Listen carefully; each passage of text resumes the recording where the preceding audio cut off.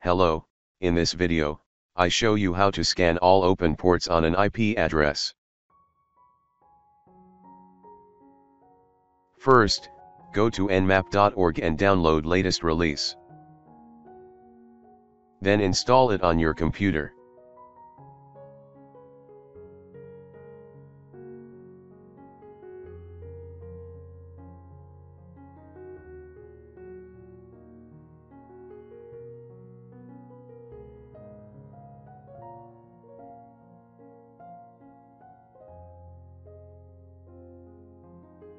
To scan using TCP Connect, enter the following command.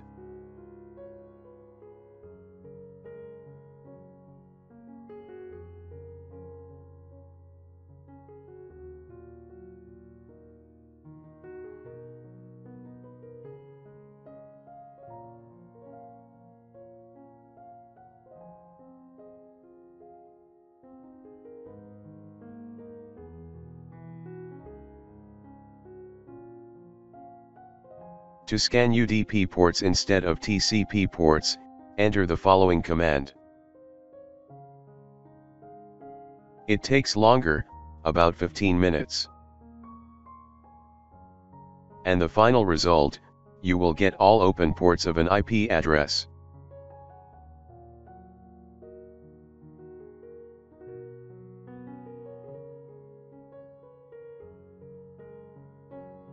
Thanks for watching don't forget to like and subscribe.